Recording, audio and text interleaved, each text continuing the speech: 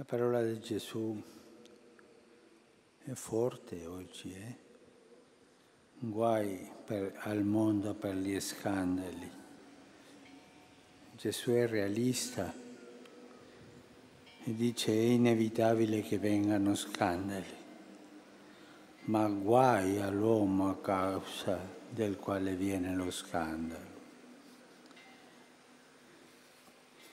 Io vorrei, prima di iniziare la catechesi, in nome della Chiesa, chiedervi perdono per gli scandali che in questi ultimi tempi sono caduti sia a Roma che in Vaticano. Vi chiedo perdono.